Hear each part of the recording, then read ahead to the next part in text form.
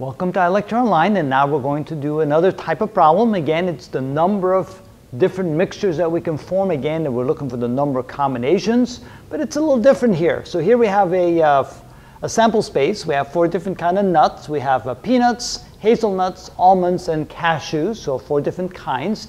And we want to know how many different types of nut mixtures we can make from those four types of nuts.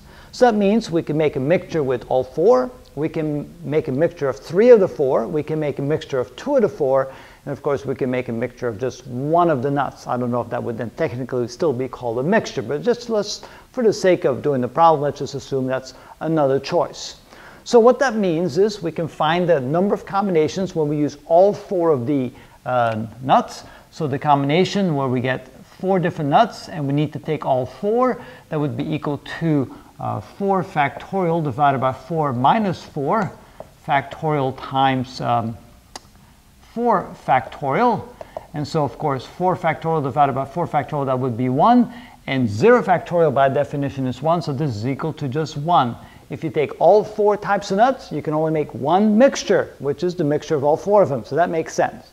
What if we just take three of the four? So for example, we can take these three, we can take those three. We can, how many different combinations are there? Well, we find for the combinations of four and we just, yeah, four different kinds of nuts, you just want to take three at a time. That is equal to 4 factorial divided by 4 minus 3 factorial times 3 factorial. And of course, 4 factorial divided by 3 factorial is simply 4. 4 minus 1 factorial, that's simply 1. With other words, there are four different ways in which you can grab three of the four nuts and make a mixture out of them. Okay, what if, what if you just take two at a time? So we have the number combinations, we have four nuts, we just want to take two at a time, that's equal to 4 factorial divided by 4 minus 2 factorial times 2 factorial, so this would be equal to 4 factorial divided by 2 factorial is 4 times 3 divided by 2 factorial, which is equal to 2, and so that cancels out. That becomes 2 times 3, which is 6. There are six different combinations. And finally, how many combinations are there when you have four nuts to choose from, but you only want to take one nut at a time? So in this case, this is 4 factorial divided by 4 minus 1 factorial times 1 factorial. So 4 factorial divided by 3 factorial times 1 factorial. And 4 factorial divided by 3 factorial is simply 4 divided by 1, which is 4. So the total number of combinations, so the number of combinations total is equal to C44 plus C43 plus C42 plus C41, which is equal to 1 plus 4 plus 6 plus 4, which is equal to, let's see, did I get that right? That's 8, 14. That's equal to 15. All right. But we can actually do this in a more general case because we can have all kinds of things like that. For example, how many combinations or how many nuts, nut mixtures can you make with five different kinds of nuts or six different kinds of nuts?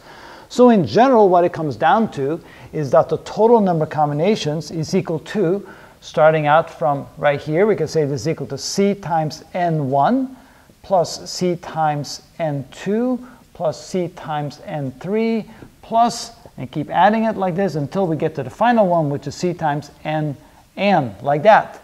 And by the way, this mathematically is equal to 2 to the n power minus 1. So there's the equation. If you want to do this in general, like this, and you have n number of different kinds of nuts, and you want to see how many different kind of combinations you can make, how many combinations of mixtures, it would be 2 to the n power minus 1. So let's try that out in this case. So here we have n four different kinds of nuts. So that means that C total is equal to 2 to the fourth power minus 1. 2 to the fourth power is 16 minus 1, which is equal to 15. And that's the exact same result that we got over here, doing it the long way. So you can see that this equation does work. n is the number of different kinds of nuts to choose from. And the number of mixtures is simply 2 to the n power minus 1. And that's how we do that.